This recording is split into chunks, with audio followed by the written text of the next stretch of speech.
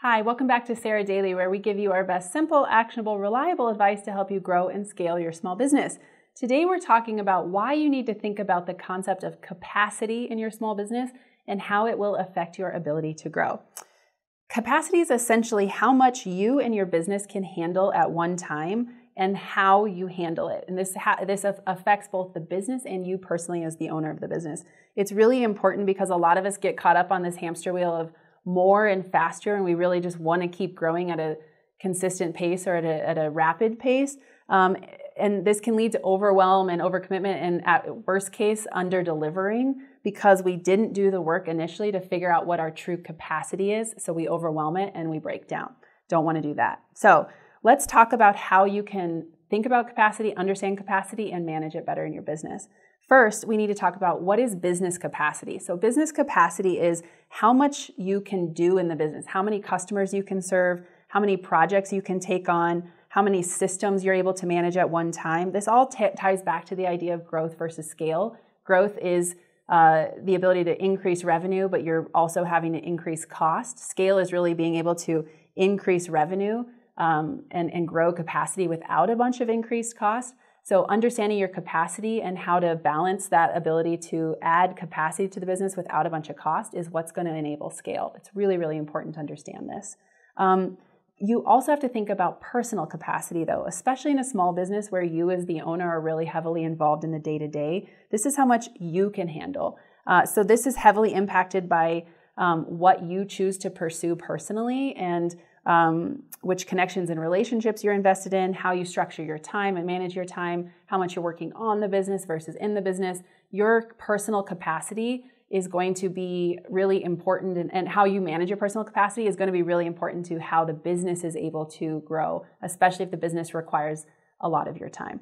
Um, and so, when we think about capacity, we also really have to understand the concept of load. And load is the inputs into the system. So, this is the tangible things coming into the business. And when we look at how you grow a business and all the strategy that we teach you here, here at Women& Inc about how to grow your business, what we're really teaching you is how to increase the load coming in, how to get more customers in, more orders, more volume through your business. That's all load that, that takes up capacity um, load in your in the personal sense is um, relationships. It's stress. And some some load is stuff you can control and that you are impacting like customer growth. You know your marketing is creating load. If you want less load on your business capacity you turn down your marketing.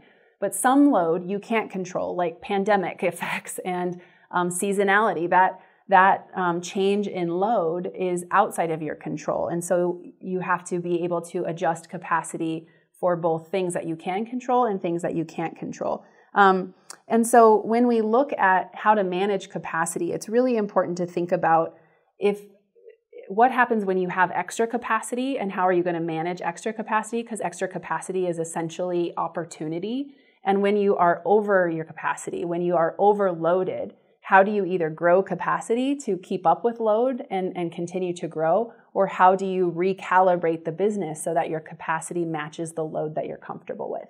So, all of that is to say, it's important for you to take a little bit of time today, look at yourself and your business. How much capacity do you really have? Um, how much capacity are you growing into? Are you currently in the process of hiring? Are you currently in the process of um, structuring your personal time a little bit better to create more capacity? Look at, at where you are currently and where you're headed with intentionality and measure that in terms of capacity just today, just for this exercise, and look at are you exceeding capacity? Are you on a path to exceed capacity? Um, is there enough load coming in for all this capacity that you're building? Or do you need to find ways to add load in? Meaning, do you need to do some more marketing? Um, thinking of it in this really kind of like engineering tactical sense might give you some tools to evaluate really pragmatically whether the business is on a path to have enough capacity to handle all the load you're going to send in, or if you are going to exceed your capacity and put yourself in a situation where you would get burned out or not be able to deliver. So take that advice, do some work on that today. Let us know what you think. And for more tips like this, check out the community, our online membership mastermind site for women who own small businesses. We love to talk about this kind of stuff. We definitely want to help you increase your capacity send more load into your business. Uh, this is all really good stuff on the path to growth, and we would love to see you inside the community. Thanks for watching.